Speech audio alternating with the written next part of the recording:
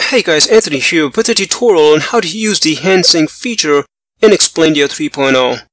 Okay, so before I proceed with the tutorial, let me first show you what this new feature is. It's a new feature introduced in version 3.032 and this is what it does. In the earlier versions of Explaindio, if you had several images on the canvas and had them set to sketch by hand, you would notice that the hand would sketch one image like so and then go off the canvas and then come back and sketch the next image and so on and so forth. With the new hand sync feature enabled, you can now have the hand on the canvas while sketching all the images. As you can see in this example, the hand remains on the canvas while sketching and this feature can be very useful. Here's another example if you wanted multiple lines of text sketched in the same way like so. You would have to put all the three lines of text in the same text box and this would mean that you would not be able to have multiple colors of text like you have here. But now as you can see all these three lines of text are three separate text boxes. Okay so now let me show you how to use it. First make sure you've downloaded the new version 3.032. So here I have a blank canvas. Let me first add a sketch image.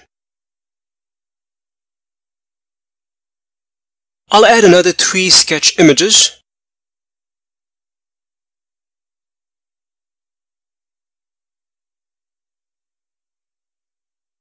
So now let me open the timeline.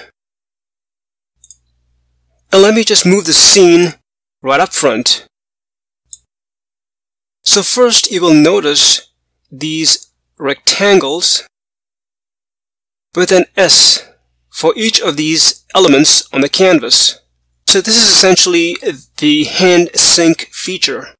As you can see, they are gray in color.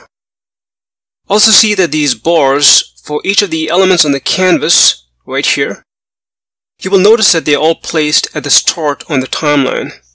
To activate the hand sync feature, just click on the S button for the corresponding element, like so, and you will notice it turned red in color. You would have also noticed that the element bar automatically moved from here to here. Now watch it again as I activate the hand sync feature for the other two elements. As you can see, they are all automatically placed now in the step or sequence format. Now let me just close the canvas and we'll do a quick preview. You will notice that it sketches all the elements one by one in the order you place them on the timeline and it will do this while the hand remains on the canvas. Also, if you go to the slide tab right here, you will notice that there is the sync with previous slide button.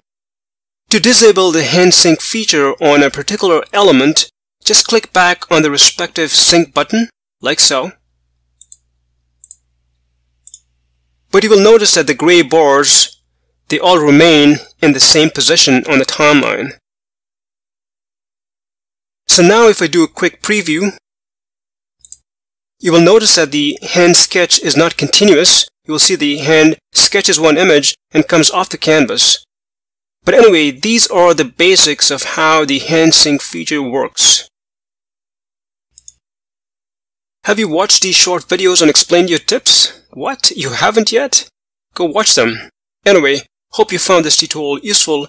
Let me know if you've got any questions, and thanks for watching. Cheers!